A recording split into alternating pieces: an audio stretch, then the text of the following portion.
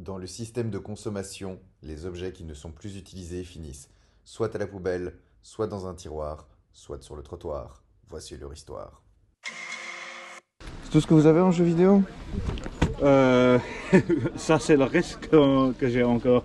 J'ai déjà vendu beaucoup. Tout le Super Nintendo. Oui. Vous aviez avec la boîte ou sans la boîte? Tous avec. Avec? Ouais. Ah ouais, ça, ça se vend bien. hein. Oui, oui, oui. Bon les amis, petit problème avec la GoPro pour filmer sur le stand, mais au moins il y a le prix qui est affiché dessus. Donc j'ai trouvé ce petit euh, GTA Collector pour 2 euros. Les théâtres n'ont pas la même valeur, malheureusement c'est pas un théâtre euh, Spirou, mais n'hésitez pas à aller voir ma vidéo que je mets dans la description sur le théâtre Spirou que j'ai trouvé en brocante. Nouvelle fracture de Speltjes 50 euro voor alles. 50 euro. De speltjes plus dat in de zak om te steken. En de vidéo Speltjes hier Die is 1 euro. Mhm. En de, dat allemaal 1 euro. En dat, en dat 5 euro. Oké. Ik, maar batterijen zijn plat, maar ik zijn er zeker beperkt. Hè. Kijk.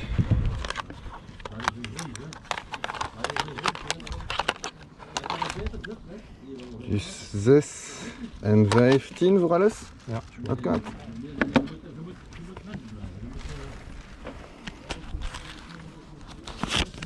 Alsjeblieft. Ja, dankjewel. Franchement, si je l'avais pas filmé, est-ce que vous m'auriez cru? Les jeux PS1, Le paysan, j'ai fait des recherches sur l'internet et ils sont déjà mis sur vente, euh, vente sur euh, le Gmail. et pa. Bon, il y a quelques jeux qui sont plus rares, bon, ils sont plus chers que les autres, ouais. comme euh, Soul Blades, il est 10 euros. ouais.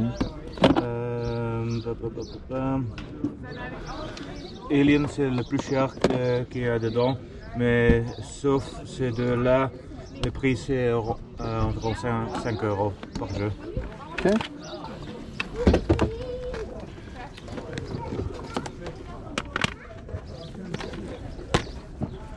Ça c'est aussi un des jeux qui est plus rare que les autres. Ouais, je vois, ils ont collé des trucs dessus.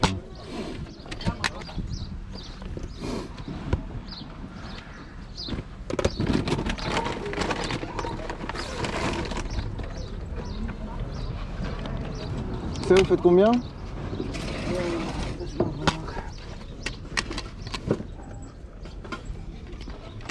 Le Roman, vu qu'il est assez rare, euh, ça revient à 30 euros.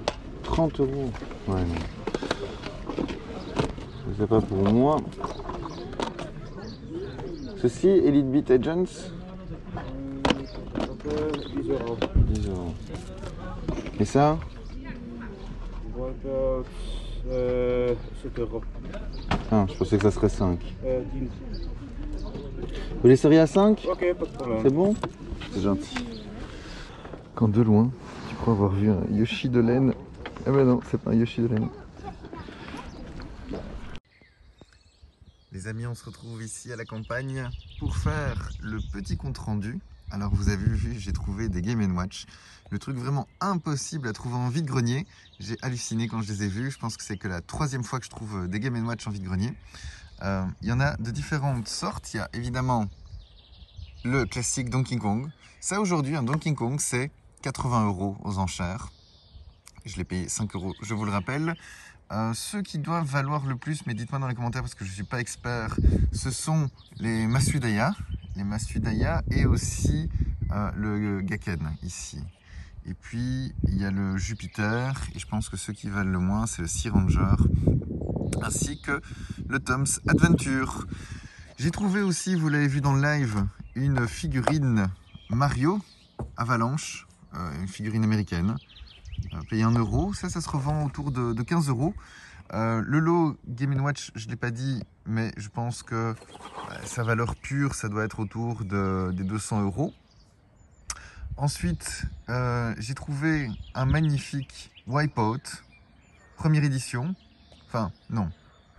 Il n'est pas Platinum. La première édition, c'est la version Big Box qui vaut plus de 50 euros maintenant. Et celui-ci, aux enchères, il vaut 20 euros. Et je l'ai payé 5 euros. Et puis, la première trouvaille du jour, j'étais pas prêt. 2 euros. Le GTA, édition collector. Euh, je pense qu'il manque les. Je pense qu'il y avait des stickers. Dites-le moi dans les commentaires, je suis pas sûr. Mais ça, ça vaut aujourd'hui passer 100 euros évidemment, un GTA Collector. Sinon, il est complet.